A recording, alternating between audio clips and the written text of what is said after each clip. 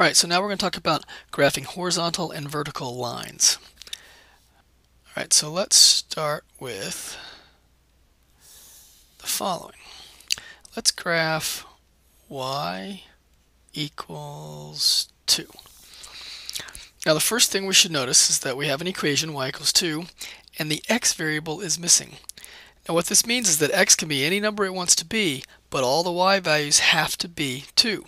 So to come up with a couple of ordered pairs, we'd say, all right, so choose a value for x. Okay, 1. So if x is 1, the y value has to be 2. Um, if x is 3, the y value has to be 2. So forth and so on. If x is negative 1, the y value has to be 2. x can be any number it wants to be, but all the y values have to be the same. They have to be the number 2 because our equation says y equals 2. So we come over here to our graph, and we need to plot 1, 2. So there's 1, 1, 2, put a little point. 3, 2, 1, 2, 3. And then negative 1, 2 would be up here. So all the x values can be anything they want to be, but all the y values have to be the same number 2, and we get what type of a line? That's right, we get a horizontal line. So horizontal lines have a certain form. Horizontal lines have the form y equals some number b. So you go to that particular number on the y-axis, um, put a spot, and then draw a horizontal line. Whenever you have y equals just a number, a real number. Okay, so now what about the slope of this horizontal line? So slope. All right, so m equals, we take these two ordered pairs, these first two ordered pairs right here. We go y value minus y value over x value minus x value. You get 0 over 2. So the slope of the horizontal line is 0. In fact, that's always going to be the case.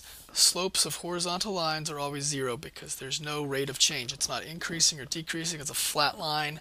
So the slope of the line uh, is 0. All right, so now let's go look at this one. Let's graph x equals negative 3. All right, so this time we've got the y that's missing. Uh, so that means y can be anything that it wants to be. But what does x have to be? The x values all have to be negative 3. So two ordered pairs for this should be something like negative 3, 1, and negative 3, 2, for example. Uh, and we can continue on. Y can be anything it wants to be, but all the x values have to be negative 3. So when we go over here to plot these ordered pairs, we have negative 1, negative 2, negative 3, and negative 3, 1, which would be right there, and negative 3, 2, which would be right there. And then connecting the dots, we get a vertical line. So vertical lines have the form, whoops, vertical lines have the form x equals some number. x equals a real number. The y is missing. So then you can just go to that specific number on the x-axis, put a little point, draw your vertical line. So graphing vertical lines and horizontal lines, um, once you understand the form that they have, uh, then it uh, they're, they're pretty fast. All right, what about slope of vertical lines? All right, so slope, let's take these two ordered pairs. We get m equals 2 minus 1 on the top, negative 3 minus negative 3 on the bottom, which goes to 1 over negative 3 plus 3, which goes to 1 over 0.